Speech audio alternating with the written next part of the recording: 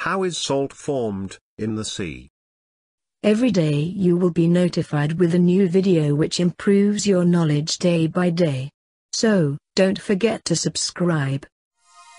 The oceans cover about 70% of the Earth's surface. About 97% of water on the Earth is saline. Salt is present in vast quantities in seawater. The open ocean has about 35 grams of salt per liter of seawater. Salt is essential for life, and saltiness is one of the basic human tastes. Do you know how is salt formed in the sea? The rain that falls on the land is fresh water without any salt.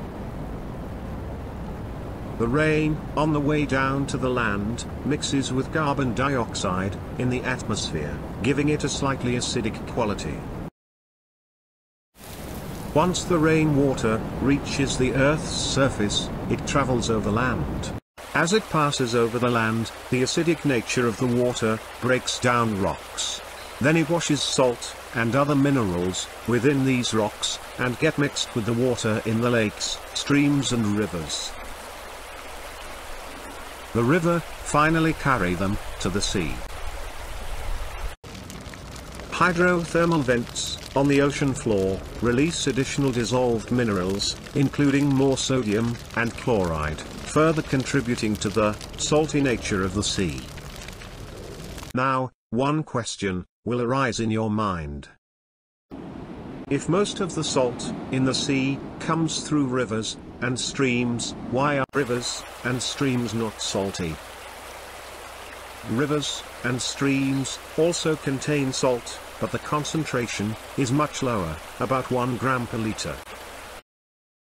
In rivers and streams, there are outlets, so the salt flows out, rather than accumulates.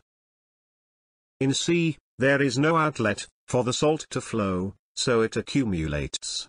So the sea water becomes very salty. There's another reason.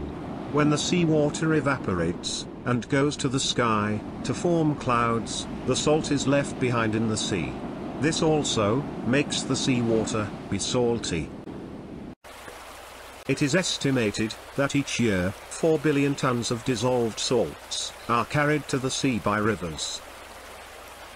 Although, the rivers continue to deposit new salts, the sea do not become over-salty, because animals and plants in the sea absorb the salts in the bodies. When they die, they sink to the seabed and decompose into sediments. Don't forget to subscribe, like and share the video.